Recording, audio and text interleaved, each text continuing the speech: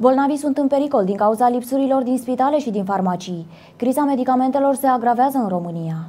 Criza de medicamente este departe de sfârșit, iar oamenii sunt nevoiți să își amâne tratamentele. Asociațiile de pacienți atrag atenția că în unele spitale s-au amânat operații din cauza lipsei de medicamente. Asociațiile de pacienți atrag atenția că sunt probleme în numeroase spitale din țară și că în ultima perioadă situația s-a agravat. Astfel sunt probleme la instituții de sănătate importante precum Institutul Oncologic sau Spitalul Funden din București, unde s-a ajuns în situația ca unele operații și proceduri să fie amânate pentru că nu există medicamentele necesare sau personalul de specialitate. Un raport raport arată că anul trecut la Institutul Oncologic București erau circa 300 de pacienți care nu au beneficiat de anumite tratamente. Cu astfel de probleme, în special lipsa medicamentelor, se confruntă și unele unități private. În aceste condiții, bolnavii care își permit cumpără medicamentele, dar chiar și așa unele lipsesc cu desăvârșire. Alți pacienți au ajuns să dea statul în judecată pentru că doar așa pot avea acces la tratament.